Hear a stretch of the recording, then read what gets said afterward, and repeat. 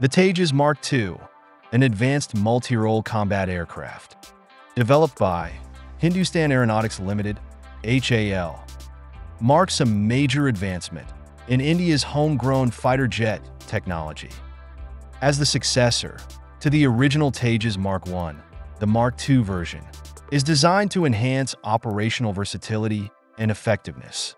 A key component of its advanced design is its comprehensive array of weaponry, particularly its missile systems, which are crucial for its role in both air superiority and ground attack missions.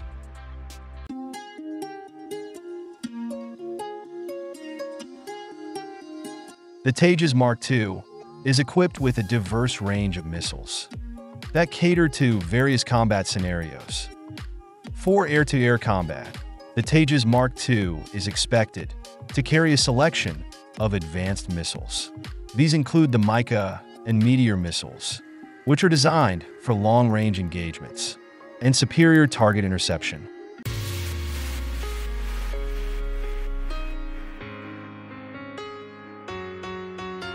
The ASRAAM will provide close-range protection, while the Astra, still in the planning stages, will enhance the aircraft's versatility in aerial dogfights.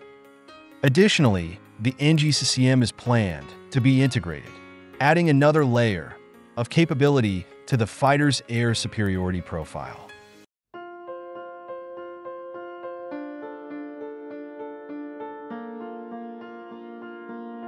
In terms of air-to-surface missiles, the Tejas Mark II will be equipped with powerful options, such as the BrahMos NG and Nirbhay.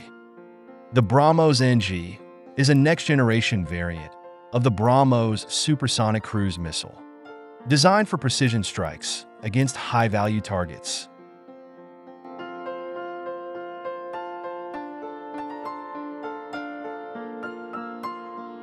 The Nirbhay also planned for integration, is a long-range subsonic cruise missile. Additionally, the aircraft will be capable of carrying the Storm Shadow, a long-range precision, guided munition, and the Crystal Maze, expanding its strike potential.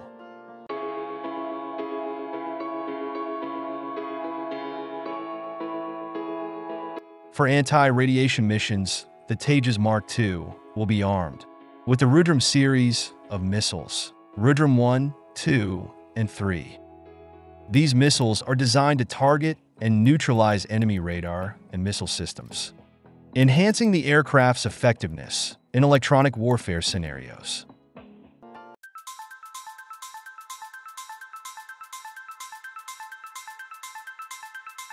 The Tejas Mark II's bomb payload includes a range of precision-guided and unguided munitions.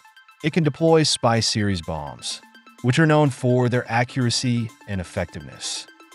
The aircraft will also carry the high-speed low-drag series of bombs in various weights, along with DRDO glide bombs and DRDO smart anti-airfield weapon.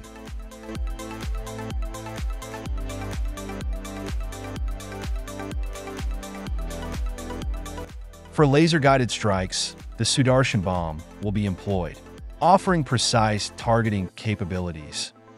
The Tejas Mark II will also have the capability to carry cluster munitions, and loitering munitions like the CATS, Alpha, which provides extended operational flexibility.